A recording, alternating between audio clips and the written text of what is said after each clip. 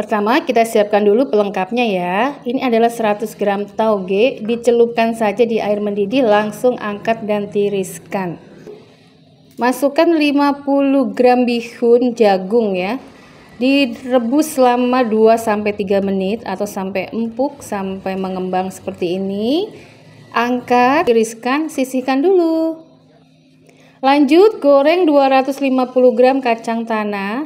Kita goreng ini mbok dengan sedikit minyak saja ya. Boleh banget kalau mau disangrai sampai mateng. Sebelum mateng, masukkan juga bawang putih ini 5 siung ya. Kita osreng-osreng.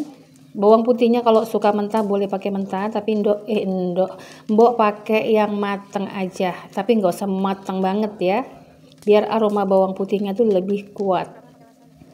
Nah ini sudah seperti ini. Kacang sudah matang bawang putihnya setengah matang angkat sisihkan. Terakhir ini digoreng tahu maafkan ya ini eh, minyak bekas menggoreng kacang tadi. Kita goreng pakai tahu putih sampai kenyal. Setelah itu diangkat ya Nah, sekarang semua bahannya sudah siap ya. Ada gula merah dan tentu saja ketupat ya. Mari kita membuat atau meracik ketoprak.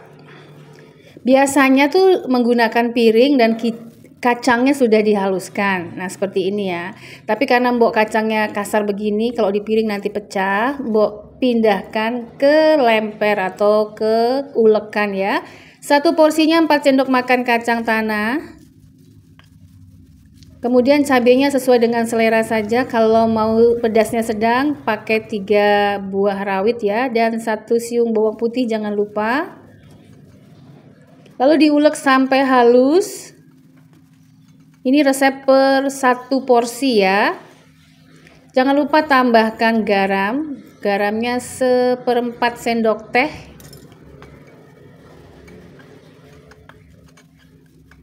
seperempat sendok teh saja ya jangan banyak-banyak ulek sampai halus. Tambahkan dua ibu jari gula merah. Nah ini bulatan yang diameternya kira-kira dua jari tangan ya. Kita belah jadi dua kira-kira dua ibu jari gula merah. Kita haluskan semua bahannya. Jangan lupa biar lebih mudah menghaluskannya. Tambahkan secara bertahap air. Untuk satu porsi total air yang akan dipakai itu 7 sendok makan. 7 sampai 9 sendok makan ya.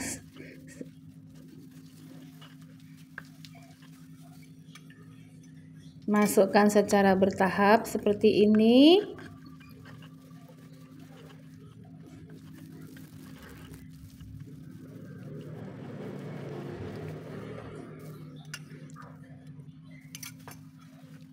Ini agak lama karena kacangnya langsung diulek dadakan ya.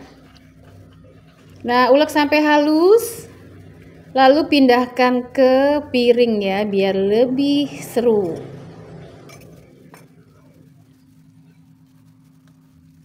Nah, ini setelah kita pindahkan ke piring dan kita ulek lagi sampai halus. Uleknya jangan dipukul ya, nanti pecah piringnya.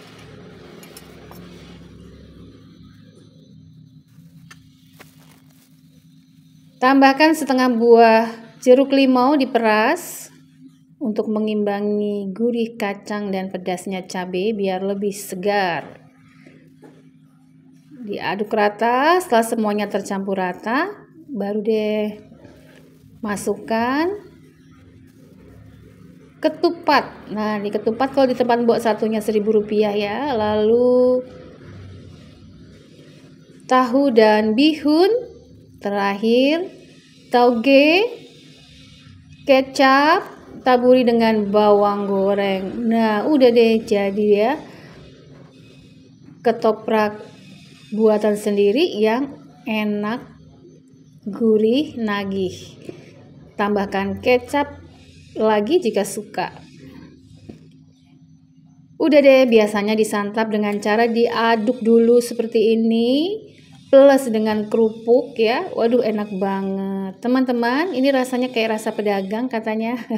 Demikian resep kali ini. Selamat mencoba.